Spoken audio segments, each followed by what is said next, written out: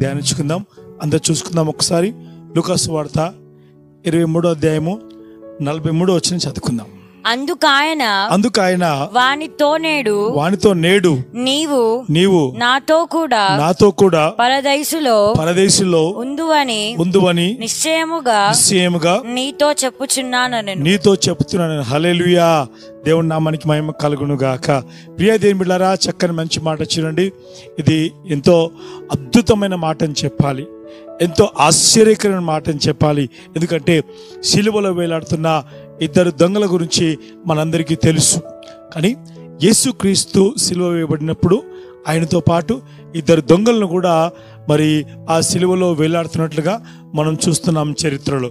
అయితే మరి ఆ ఇద్దట్లో ఒక దొంగ ఏమంటున్నాడంటే అక్కడ ప్రభుని దూషిస్తున్నాడు. ఏమంటాడంటే నువ్వు దేవుడు అయితే నిన్ను నువ్వు రక్షించుకొని మమ్మల్ని కూడా రక్షించమని ఆ ఒక్క దొంగ అంటున్నాడు. మరొక దొంగ ఏమంటున్నాడు? మనమైతే పాపులమే మనమైతే దొంగలమే కానీ ఆయన మాత్రము దేవుడు ఆయన మాత్రము సృష్టికర్త సర్వాధికారి అని స్పష్టంగా చెప్తున్నాడు. అదే రీతిగా ఇంకో మాట ఏమంటున్నాడు? లోక పాపం మోసుకొని పోసిన దేవుని గొర్రెపిల్లని స్పష్టంగా గ్రహించగలిగినాడు. అయితే అప్పుడు దేవుడు ఆయనతో అంటున్న మాట ఏంటంటే నేడు నువ్వు నాతో కూడా నిశ్చయంగా పరదేశంలో ఉంది అని చెప్తున్నాడు. దేవునికి మహిమ కలుగును గాక. ఎందుకు ఈ మాట దేవుడు అయితే చెప్పినాడంటే ఆయనకు పశ్చాత్తాపం వచ్చింది. ఆ దొంగ ఆ దొంగకు పశ్చాత్తాపం వచ్చింది. పశ్చాత్తాపంతో మారు మనసుతో ప్రభు పట్ల ఒక మంచి కృతజ్ఞత కలిగి నిజానికి తన జీవితంలో గ్రహించగలిగినాడు.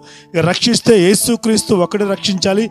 యేసుక్రీస్తు ఒక్కడే నిత్య జీవానికి వారసుడు. ఆయనే మనకు నిత్య జీవం ఇవ్వాలి ఆయనే మన జీవితాన్ని నిజానికి పరలోక రాజ్యానికి హక్కుదారులుగా చేయగలడని ఆ యొక్క దొంగ నమ్మినట్లుగా చూస్తున్నాము. కాబట్టి ఎంత స్పష్టంగా దేవుడు మాట్లాడుతున్నాడు. ఎందుకంటే దేవాతి దేవుడు పైరూపం చూసే దేవుడు కాదు కానీ దేవాతి దేవుడు మన అంతరంగం చూస్తున్న దేవుడు మన దేవుడు ఆశను చూస్తున్న దేవుడు ఆశ ప్రాణాన్ని ఆయన తృప్తిపరిచే దేవుడని మరొకసారి మీకు నేను జ్ఞాపకం చేస్తున్నాను. కాబట్టి ప్రియా దేవుని గమనించండి. యేసు క్రీస్తు కూడా సిలువలో వేలాడుతున్నాడు. ఆ ఇద్దరు దొంగలు కూడా వేలాడుతున్నారు. కానీ ఒక్క దొంగ యేసు వైపు తన తిరుగుతున్నాడు. హల్లెలూయ! యేసు వైపే తన జీవితాన్ని మలుచుకుంటున్నాడు అనే విషయాన్ని మరొకసారి జ్ఞాపకం చేస్తున్నాను. అదే రీతిగా నలభై రెండో వచనం చూసుకుందాం ఒకసారి. ఆ, వార్త ఇరవై మూడు నలభై రెండో వచనం. ఆయనను చూచి ఆయన చూచి గట్టి. యేసు ఆయనను చూచి యేసు నీవు నీవు నీ రాజ్యములోనికి నీ రాజ్యములోనికి వచ్చినప్పుడు వచ్చినప్పుడు నన్ను నన్ను జ్ఞాపకము చేసుకో జ్ఞాపకము చేసుకోమని చెప్పాను. హలేలుయా ఎంత మంచి మాట దేవుని మహిమ కలుగుడు గాక. ఎప్పుడైతే నన్ను నీ రాజ్యములో వచ్చినప్పుడు జ్ఞాపకం చేసుకొని చెప్పిన వెంటనే దేవుడు ఏమన్నాడు నేడు నీవు నాతో కూడా పరదేశులందు అని ఎంత స్పష్టంగా మాట్లాడినాడు. అడుగువానికి నిశ్చయంగా ఆయన ఆత్మనిచ్చే దేవుడు అనే విషయాన్ని మరొకసారి నేను మీకు జ్ఞాపకం చేస్తున్నాను. ప్రియా దేని బిడ్డారా గమనించండి. బైబిల్ ఒక మాట చూడగలుగుతాము. ఏంటంటే ఎవరి మనిషిని మీద ఆనుకును వానికి పూర్ణ శాంతిగా వానికి కలగజేసి సెలవిచ్చిన ప్రకారము ఎప్పుడైతే మనము ఆయన పైన ఆనుకుంటామో దేవుడు ఖచ్చితంగా మనం రక్షిస్తాడు విడిపిస్తాడు విడుదలిస్తాడు. పాపముల నుంచి మనకు విడుదలిచ్చే దేవుడు ఆయనను మరొకసారి జ్ఞాపకం చేస్తున్నాడు. యేసుక్రీస్తు ప్రభు మన ఆత్మగడ్డ కల్మషములు కడుగుటకు సమర్థుడు. ఆయన చాలిన దేవుడు విషయాన్ని మరొకసారి మీకు జ్ఞాపకం చేస్తున్నాను. కాబట్టి చూడండి మరొక మాట. ఒకటో తెస్సు రాసిన పత్రిక నాలుగో అధ్యాయం పదహారో వాక్యం చూసుకుందాం. ఆర్భాటముతోను ఆర్భాటముతోను ప్రధాన దూత శబ్దముతోను ప్రధాన దూత శబ్దముతోను దేవుని బూరతోను దేవుని బూరతోను పరలోకము నుండి పరలోకము నుండి ప్రభువు దిగివచ్చును. ప్రభు దిగి క్రీస్తునందుండి క్రీస్తు నందుండు మృతులైన వారు మృతులైన వారు. మొదట లేదు మొదట లేతురు. హలేలుయా దేవునికి స్తోత్రం. ఎంత చక్కని మాట చూడండి. వాక్యము స్పష్టంగా తెలియజేస్తుంది ఎందుకంటే ఆర్భాటంతోనూ ప్రధాన శబ్దంతోనూ దేవుని బూరతోనూ పరలోకము నుండి దే- పరలోకము నుండి ప్రభు దిగి వచ్చిన క్రీస్తు యేసు నుండి ముద్రైన వారు మొట్టమొదటిగా లేతురని లేఖనం స్పష్టంగా సెలవిస్తుంటుంది. కాబట్టి ప్రియా దేని బిడ్డారా గమనించండి. ప్రభునందు మృతులైన వారే అందరూ కాదండి. ప్రభునందు మృతులైన వారే అన్న మాటను ఒకసారి చూసుకున్నట్లయితే అందుకే భక్తుడు అంటాడు కదా చక్కని మాట. ఇదిగో నా నా విశ్వాసం కాపాడుకుంటూనే నా పరుగును కడ ముట్టించింది ముట్టించింది అన్నాడు. ఈరోజు చాలామంది జీవితాలలో చూసినట్టయితే వారి ఇష్టానుసారంగా వారు జీవిస్తున్నారు. జాగ్రత్త సుమా. ఈరోజు అందుకే దేవుడు లేని జీవితాలు నిజంగా చాలా కష్టము చాలా భయంకరమైన విషయాన్ని మరొకసారి జ్ఞాపకం చేస్తున్నాను. యేసు క్రీస్తు ఆత్మలకు కాపరిగా ఆత్మ రక్షించే దేవుడుగా అన్న విషయాన్ని మరొకసారి జ్ఞాపకం చేస్తున్నాను. అందుకే బైబిల్ సెలవిస్తుంది. ఇదిగో మీరు క్రీస్తుతో కూడా లేపబడ్డ వారైతే పైనున్న వాటిని వెతుకుడు కానీ భూ సంబంధం వాటిపైన మనసు పెట్టకూడని బైబిల్ గ్రంథం సెలవిస్తుంది. మీ జీవము క్రీస్తుతో కూడా దాచిపెట్టబడిందని స్పష్టంగా లేఖనాలు సెలవిస్తున్నాయి. నిజంగా ఆయన వచ్చినప్పుడు ఎవరైతే క్రీస్తునందు మృతులైతారో వారు మొట్టమొదటిగా లేతురని స్పష్టంగా లేఖనం సెలవిస్తూ ఉంటుంది. మరొక మాట ఇక్కడ చూద్దాం. ఇక్కడ ఒకటవ పేతు రెండు ఇరవై మూడు చూసుకుందాం.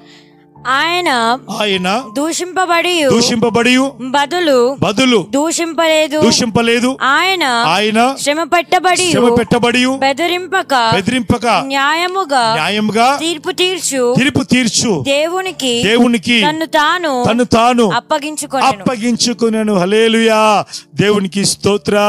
ఎంత మంచి మాట. ఎంత చక్కని మాట. లేఖనాలు చదువుతా ఉంటే ఎంతో సంతోషం కలుగుతా ఉంది. ఎంతో ఆనందం కలుగుతోంది ఇక్కడ. ఎందుకండి? ఆయన దూషింపబడి బదులుగా దూషించలేదు. ఆయన ఎవరిని దూషించలేదు. ఈరోజు చాలామంది దూషించడానికి ఎంతోమంది కంకణం గట్లను కూర్చుంటారు.